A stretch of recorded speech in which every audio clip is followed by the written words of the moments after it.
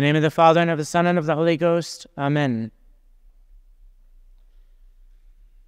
In today's Gospel, our Lord Jesus Christ talks about his departure from the apostles. And this scene is, in fact, taken from the Last Supper, just the day before Christ dies on the cross.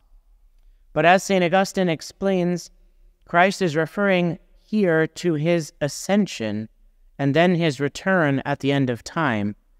A little while, and you shall not see me, and again a little while, and you shall see me.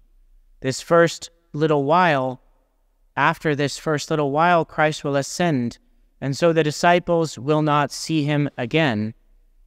And then, after again a little while, this is the time of our continued exile here on this earth, Christ will return in glory. And as we now go through the Easter season and we are following, we might say, the disciples during this time, this word of Christ as they as they remember it, as he appears to them and then is not with them for a time, then appears again. This word of Christ must have been a source of some sorrow to them, just as we might say they are getting used to a resurrected Christ being among them. But we can also imagine during this time after the resurrection that the disciples begin to discover more and more the role of Mary. It was on the cross that our Lord gave his mother to St. John Woman, behold thy son, son, behold thy mother. And so during this time, as Christ is not there all the time, the disciples would necessarily begin to discover more and more the spiritual riches which she had and which she had to give them. And then also would come perhaps a growing realization of the depth of those words, Behold thy mother, that Mary was in fact to be the mother of this little community of Christ's disciples lost and alone in a hostile world, we see them instinctively gather around her at the just after the ascension and at a time of Pentecost. They are there with her in the cenacle.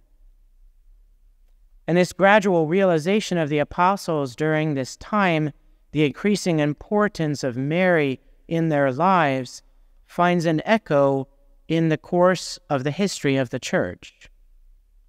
Today we lament Christ's disappearance, we might say, from so many aspects of modern life. Modern man has tried to, to chase away, to destroy Christ's image in civilization, in men and women, and even in the innocence of childhood. And the world grows darker and darker as man chases away the light. So we are perhaps very much as these apostles, feeling somewhat abandoned, surrounded by his hostility, and in the last analysis, so few, so few who hold on to the words of Christ and try not to pervert them as so many have done. But this is the point that as the darkness over the earth increases, so much the brighter does the moon begin to shine. And God has not given any other answer to this darkness of the world than his own mother, fair as the moon, bright as the sun, terrible as an army set in battle array. So it is for us then, like the apostles, to realize more and more the role that Our Lady truly has in this world and in our own lives. God has given us a mother, and we must go to her. And it's no accident that in these latter times, we might say, these recent years, relatively speaking, we see these declarations about Our Lady. We see these apparitions of Our Lady. She is beginning to shine more and more brightly. When we go and return and visit our natural mother, the one who gave us birth, it's quite normal to, to feel ourselves children again. We remember the way she took care of us, all of the old mannerisms, we might say, and how we relied so much on her loving care. And it's the same when we go to Our Lady. We will be able to be children again. She will restore to us that childhood that is necessary to enter the kingdom. Tomorrow we begin the month of Our Lady, the month of May. And so let us go to her in prayer and devotion, but also and especially let us go to her intelligently.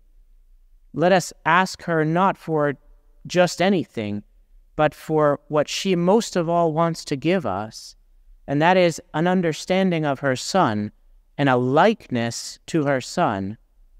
And that means an understanding of the cross and a love of that cross. This is what Mary wants to give us, not to completely dispel all of the darkness of this world. That will be for Christ's second coming. That's when he will come again in glory. But she will give to us to shine as she does with a light received from Christ. And let us also, during this time, this month of Mary, let us try to read a little bit more about her, to try to understand her motherhood more deeply. Real piety is always founded on truth. And so we must establish our devotion to Our Lady on solid truths about her. It's the time, for example, to read again about the Immaculate Conception, read again about the Assumption, these great dogmatic truths of the last hundred, two hundred years. As the world darkens, it should be our joy to see Our Lady shine forth more and more brightly. And as she, she shines still more brightly, so must the more must our instinct to go to her increase. She will really be our joy on this earth, and a joy that indeed no man shall take from us. In the name of the Father, and of the Son, and of the Holy Ghost. Amen.